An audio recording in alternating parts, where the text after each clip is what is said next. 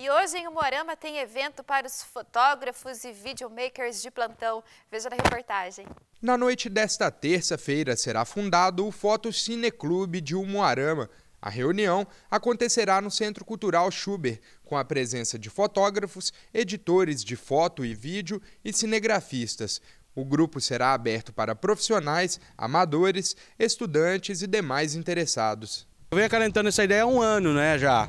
E, e agora nós é, colocamos em prática Uh, devido, devido assim, é que a gente percebe que é muito desunido né, a classe de fotógrafos, cinegrafistas né, aqui na, na cidade. Nós queremos unir, mas o principal mesmo é, é promover a cultura, esse é o, é o principal. Além de unir esse, esses profissionais né, e amadores também, nós queremos é, é, promover a cultura, né, que a fotografia, o cinema é cultura. E aqui na nossa cidade ainda deixa a desejar, né, porque nós não temos incentivo. Durante a reunião, será escolhida a diretoria do Foto Cineclube. Na ocasião, os profissionais presentes também discutirão os objetivos principais que irão nortear o grupo. A intenção é buscar incentivo e apoio para atividades relacionadas à fotografia e vídeo.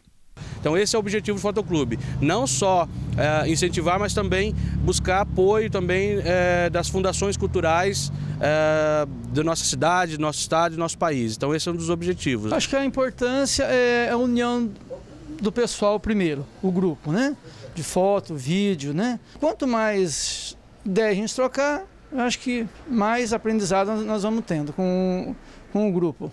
Além de incentivar as atividades relacionadas à fotografia e ao cinema na cidade, a criação do Cineclube poderá facilitar outras iniciativas culturais.